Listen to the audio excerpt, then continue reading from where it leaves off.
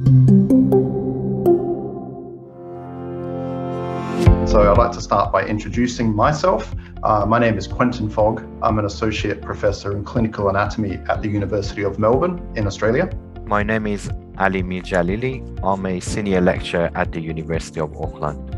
Um, Ali and I have both taught anatomy all over the world, and we've seen the same challenges with all sorts of students, be it science, medicine, dentistry, nursing, um, all these other related allied health programs that we've taught on. So we'd like to share with you some of our approaches to how we've helped students succeed.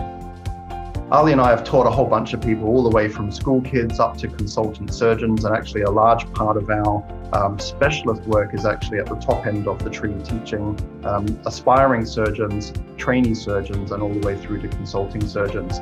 Um, one of the reasons we're here is that we are both co-authors, uh, led by Ali uh, in his companion guide to Last Anatomy, Throughout the Commonwealth, this is the standard anatomical text for almost all surgical trainees. So once you've finished medical school and thinking about a surgical career, Last Anatomy is really the gold standard in text. Uh, and Ali has led the development of this, what we hope to be our wonderful companion guide to that.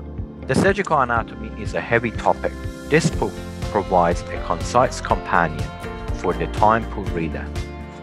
It is designed to be used in conjunction with Last's anatomy and supplemented by simple anatomical diagrams and prosection photos purposefully made for this edition.